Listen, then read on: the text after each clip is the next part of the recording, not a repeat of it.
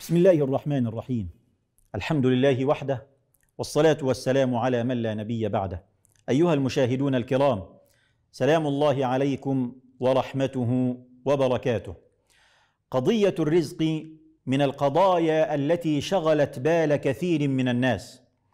مع أن الله عز وجل قد تكفل بها وضمنها قال الله عز وجل وفي السماء رزقكم وما توعدون فورب السماء والارض انه لحق مثل ما انكم تنطقون. هذه القضية تكفل بها ربنا تبارك وتعالى.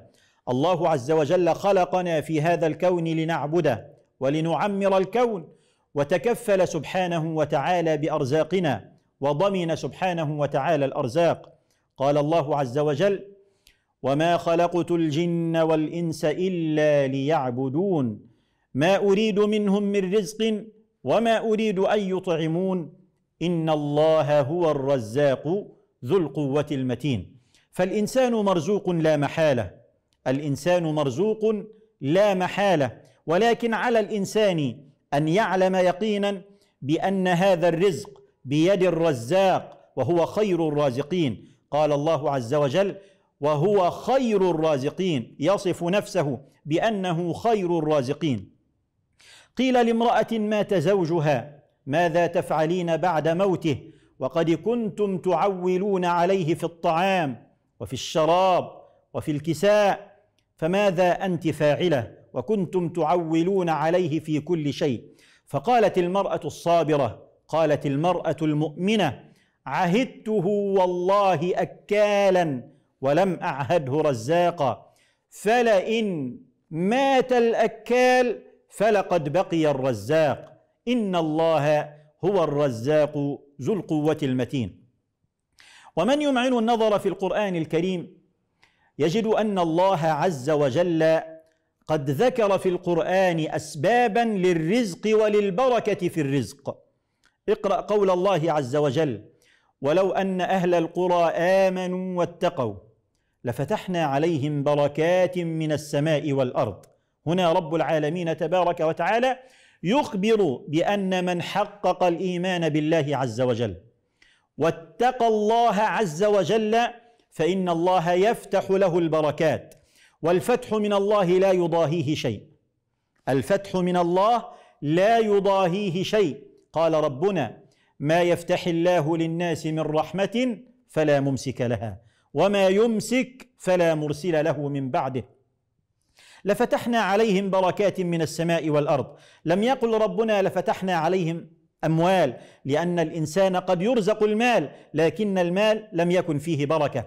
أو قد يرزق المال لكن المال يكون سببا لشقاء الإنسان.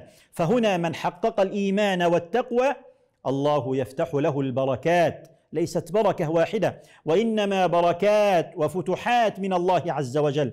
ولذلك أول سبب من أسباب البركة في الرزق أن يتقي الإنسان ربه تبارك وتعالى.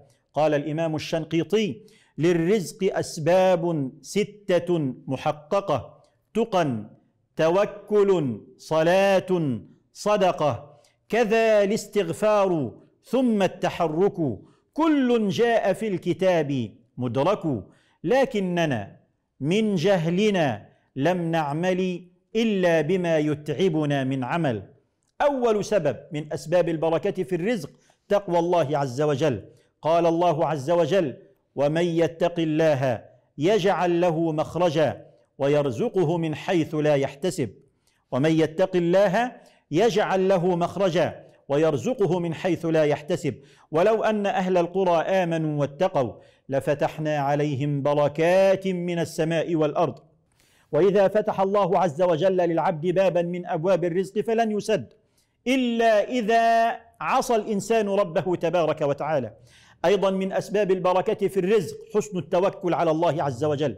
فإذا صدق الإنسان في اعتماده على ربه وحسن توكله على ربه تبارك وتعالى فإن الله يفتح له الخيرات ويفتح له أبواب الخيرات والأرزاق.